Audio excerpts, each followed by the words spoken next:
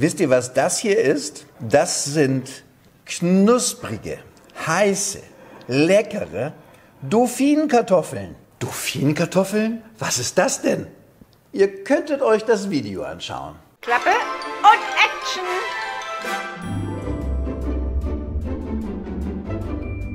Oh, ist das lecker.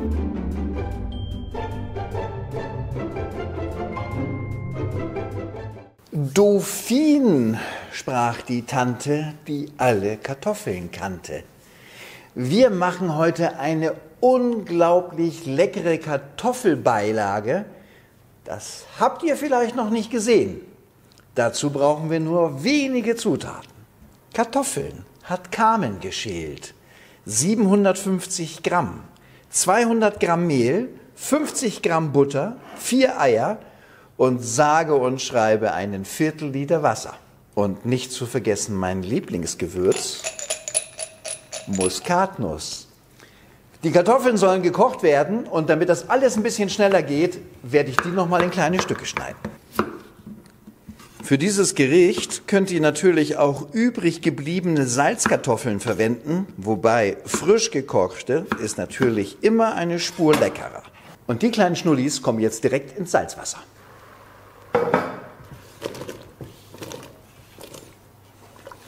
Und hier drinnen kochen wir sie jetzt total weich, weil die werden gleich durchgepresst. Kommen wir nun zu Schritt Nummer zwei, dem Brandteig. Hoffmann-Topf Nummer eins mit gekochten Kartoffeln.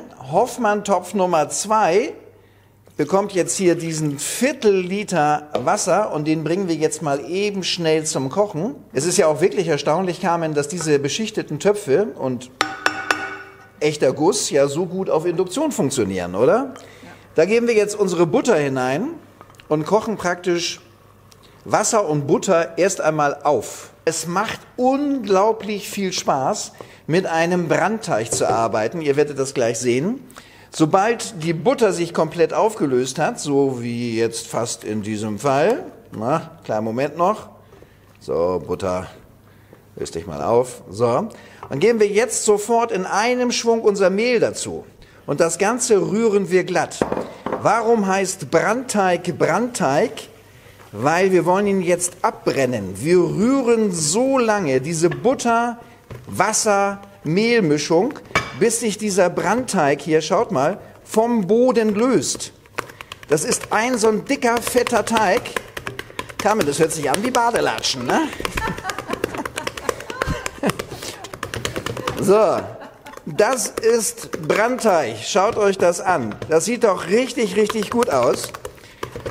Also wenn der Topf so aussieht, dann habt ihr alles richtig gemacht und das funktioniert eigentlich in jedem Topf, aber natürlich in einem beschichteten umso besser. Das ist Schritt Nummer eins. Dann nehmen wir den heraus in eine Schale, lassen das ein ganz klein bisschen kälter werden. Da kommen jetzt gleich unsere Eier dazu.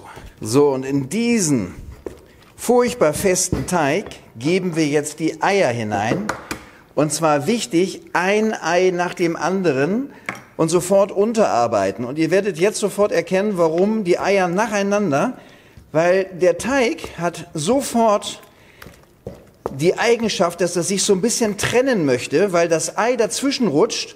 Und deswegen muss man immer wieder den Teig verarbeiten und zwar das Ei komplett unterrühren. Sonst kriegst du niemals dort vier Eier nacheinander hinein. Und wenn das jetzt wieder so ein schwerer Teig ist, dann kommt das nächste Ei hinein. Das ist ein bisschen Handarbeit, macht aber Spaß. Ein Ei nach dem anderen. Und wieder kräftig unterarbeiten. Wie gesagt, probiert es niemals aus, diese Eier alle auf einmal hineinzugeben. Das wird garantiert nichts. So, die Kartoffeln sind mittlerweile gar. Ich habe das Wasser schon abgegossen. Und jetzt lasse ich sie hier im Topf noch so ein bisschen antrocknen dass wirklich das ganze Wasser raus ist, das ist wichtig. Achtung, keine Röststoffe, aber sie dürfen trocken sein, so wie jetzt. Und dann kräftig stampfen. Und dieser Kartoffelbrei, der kommt jetzt hier auf meinen Brandteig obendrauf. Achtung, noch nicht unterrühren, die Arbeit können wir uns sparen, weil wir müssen noch würzen. Salz hatten wir ja schon in den Kartoffeln, die haben wir ja als Salzkartoffeln gekocht. Jetzt kommt da eine ordentliche Note Muskatnuss obendrauf. Nicht zu wenig, weil der Brandteig nimmt euch ganz viel weg. Ein wenig gemahlenen weißen Pfeffer, ungefähr so ein halber Teelöffel. Und jetzt kommt auch unser Backpulver ins Spiel. Das geben wir jetzt erst dazu und machen daraus einen glatten Teig. Alles miteinander verarbeiten.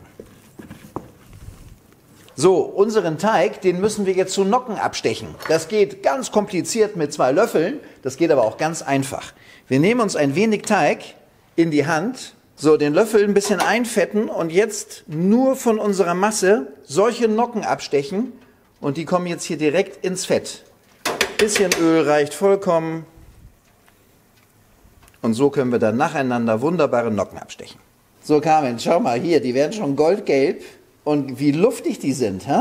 Ja, richtig schön. So muss das sein. Noch zwei Minuten und dann nehmen wir sie raus. So, wenn sie so ein bisschen abgetropft sind, kommen sie jetzt auf ein Küchentuch, dass sie noch ein bisschen entfettet werden. Warm stellen und die nächsten. Was für eine schöne Ausbeute. Jetzt wollen wir mal so ein herrliches Teilchen hier. Also ist ja wirklich goldgelb gebacken. Wollen wir den mal eben probieren? Guck mal, hast gehört, wie fluffig der ist? Innen drin butterweich, außenrum eine ganz leichte Kruste.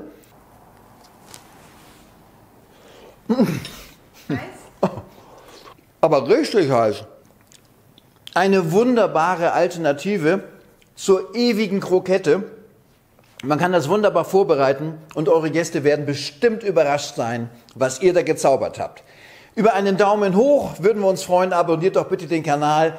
Carmen ist auch ganz gespannt, deswegen sagen wir schön schnell Tschüss, ihr Lieben. Tschüss. Bis bald, Ahoi aus Hamburg. Tschüss. Natürlich.